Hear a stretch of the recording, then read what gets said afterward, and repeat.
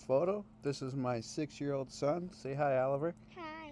Hi. We're going to show you how to use a smoke template of basketball real quick. Um, first things first, if you're not familiar how to cut out the subject, you just go to your subject, hit W. I'll bring you up here to select subject. Hit select subject. It will mask. Yep, I'm recording right now, buddy. Uh, yep, you hit select subject. Come down here to hit mask mask. There's a mask. I'm not going to use that one.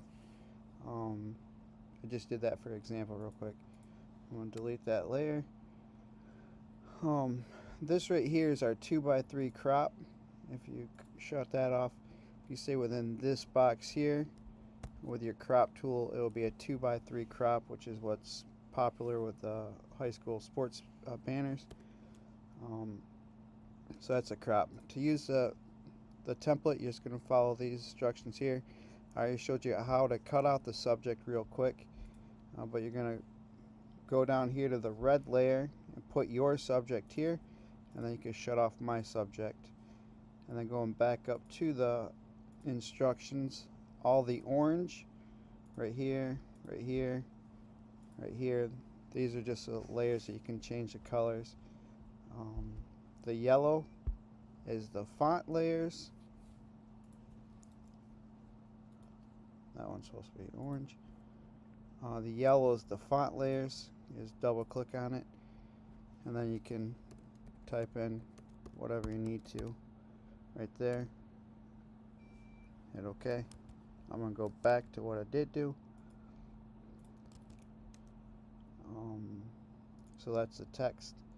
And the, the colors is the the orange is the the colors. You just move it around.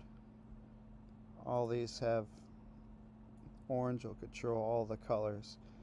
And then when you want to get done you want to save it. Come up here hit save. Save as.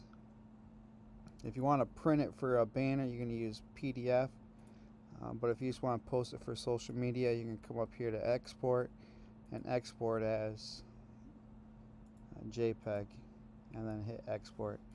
And then that's that's that. So I appreciate you watching the video. Thanks. Say goodbye Oliver. Bye. Bye. He's doing really really I just wanted him to hear what I was watching. Right? Good idea yep. isn't it? really well